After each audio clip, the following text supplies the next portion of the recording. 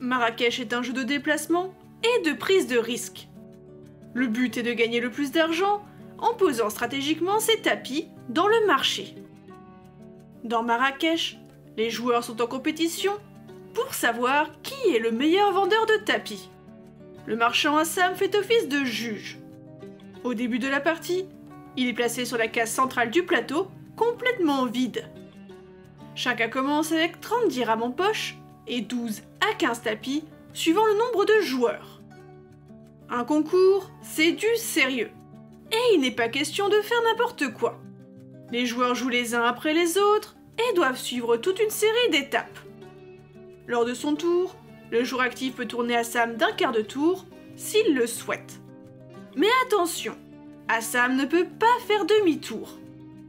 Il lance ensuite le dé et avance Assam d'autant de cases. S'il sort du terrain, il suit simplement la ligne et y retourne.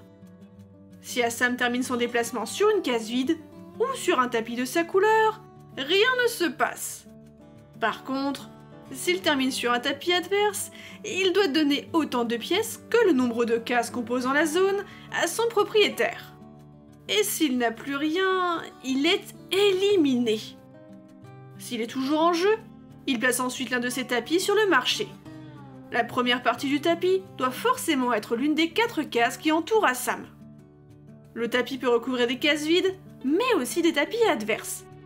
Il est simplement interdit de recouvrir entièrement un tapis avec son propre tapis.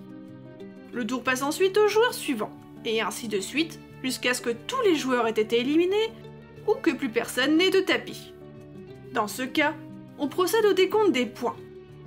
Chaque joueur compte le nombre de pièces qu'il possède et y ajoute un point par case de sa couleur. Celui qui a le plus de points gagne. Marrakech propose une variante qui consiste à ne pas tourner à Sam au début de son tour.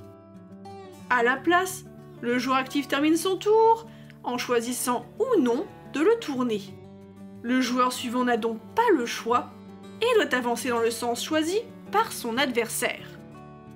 Pour conclure, Marrakech est un jeu de pose de tapis et de prise de risque aux règles simples et aux parties tendues. Le matériel est magnifique, avec de véritables petits tapis.